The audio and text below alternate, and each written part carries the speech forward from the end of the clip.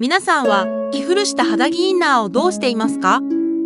私はこのように切ってテーブル拭きや革靴拭きに使ってからありがとうって捨ててます。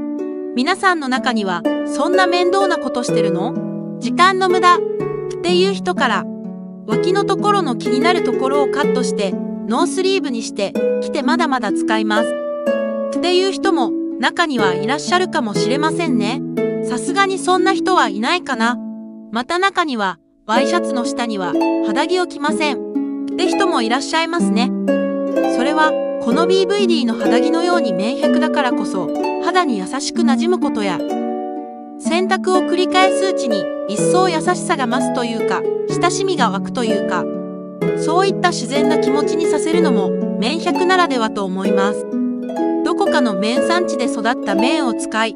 現在はタイにある富士坊工場で作られている DVD 肌着は私にとっては欠かすことのできない素晴らしい品質の肌着です。かれこれ30年近く愛用しております。夏場は B ネック冬場は丸首や U ネックと大体使い分けています。また大体イオンなどで40%オフセールなどで LL サイズがあると買っています。ところで肌着や靴下って安い時に買っておけばいつか使うだろうと思いついつい買い溜めてしまいませんか？去年のバーゲンで買ったのを忘れてまた今年も買いだめるっていうパターンです。私の場合パジャマも買いだめる癖があるようでまた物持ちも意外とよくどんどん新品が溜まっています。笑い。